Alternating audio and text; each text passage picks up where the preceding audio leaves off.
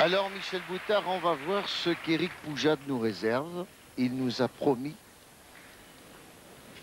d'avoir préparé un superbe mouvement tout à fait changé.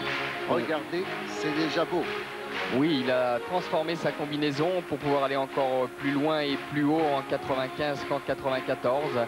Alors c'est vrai que ce sera plus visible pour le spécialiste, mais on a déjà pu remarquer son entrée où il a euh, mis les cercles Thomas et les boucles Thomas.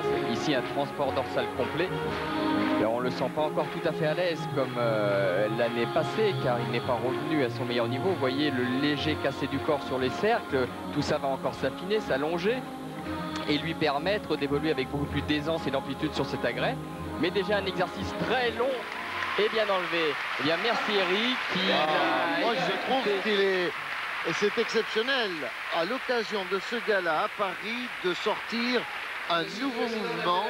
Lorsqu'on est deuxième des championnats du monde, vous allez voir tout de même quand même que c'est une élégance. J'allais dire, c'est l'un des rares gymnastes au monde à pouvoir présenter un exercice aussi fin. Oui, mais à ce niveau, c'est une recherche perpétuelle.